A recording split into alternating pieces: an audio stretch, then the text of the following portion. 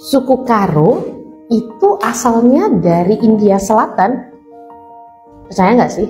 Suku Karo ini adalah salah satu suku yang ada di Indonesia. Suku Karo ini ada di uh, Pulau Sumatera, tepatnya di Sumatera Utara.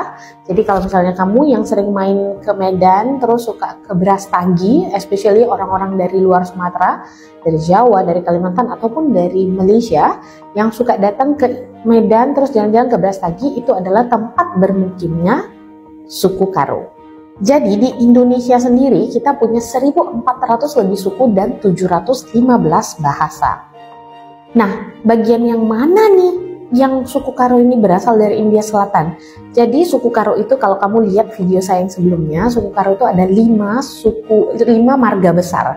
Oke, ada lima marga besar dan salah satunya adalah marga Semiring. Marga Semiring ini punya klasifikasi lagi sub marga, ada sekitar 15-an marga dan sub marga ini pun dibagi dua lagi ada yang namanya Simanbiang dan Silamanbiang. Jadi di Silamanbiang ini ada sekitar, sekitar 11 marga. Di 11 marga ini termasuklah ada 5 marga yang berasal dari India Selatan. Atau Semiring ini mereka lebih dikenal dengan Semiring Singombak. Pada dasarnya mereka ini adalah penganut ajaran pemena ataupun Sanatana Dharma ataupun yang kita sebut Hindu. Jadi mereka ini tradisinya sama seperti tradisi uh, umat Hindu. Kalau mereka uh, meninggal, mereka akan dikremasikan. Setelah mereka dikremasi, abunya akan disebar di laut. Jadi mereka akan naik terus disebar di laut seperti apa yang dilakukan oleh orang yang beragama Hindu. Biasanya kan kalau misalnya di agama-agama lain mereka akan dikubur. Nah, lima uh, marga sendiri yang berasal dari India Selatan yaitu yang pertama adalah Sembiring Brahmana. Dari namanya saja sudah Brahmana. Oke, Sembiring Brahmana ini dibawa pertama kali oleh Resi Megit. Bukan Sembiring Brahmananya, maksudnya uh, orang yang datang dari India Selatan itu namanya Resi Megit.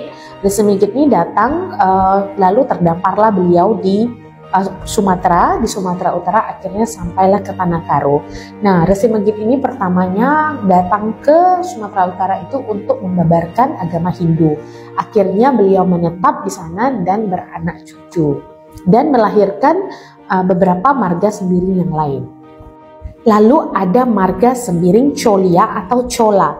Marga sembiring Cholia atau Chola ini sebenarnya adalah orang-orang dari kerajaan Chola India mereka mendirikan kampung Kubu Cholia. Jadi Raja Cholen atau Raja Chola ini uh, kerajaan besar di India yang mereka ini sering datang untuk uh, menjajah kerajaan-kerajaan kecil lainnya di Asia Tenggara. Chola ini adalah kerajaan besar di India yang sampai sekarang pun peninggalan sejarah kerajaan Chola ini masih ada di India. Salah satunya adalah kuil terbesar di India yang namanya kuil Brihadishwar. Kuil ini uh, sangat besar, sangat megah yang kuil ini tuh nggak pakai semen gitu. Jadi dibangunnya seperti sama dengan Candi Borobudur. Jadi siapa-siapa yang keturunan uh, Brahmana Cholia bisa ke India untuk lihat kuil peninggalan nenek moyangnya. Nah selanjutnya yang nomor tiga ada uh, Marga Sembiring Pandya. Marga Sembiring Pandya ini berasal dari kerajaan Pandya di India. So diduga berasal dari kerajaan Pandya di India. Mereka ini bermukim di uh, bagian desa Sipayung. Lalu ada Marga Sembiring Pelawi. Ini diduga berasal dari kerajaan Palawa dari India. Yang kelima ada Sembiring Meliala. Nah, dari namanya aja Meliala. Warga Sembiring Meliala ini diduga berasal dari India, dari daerah Malayalam.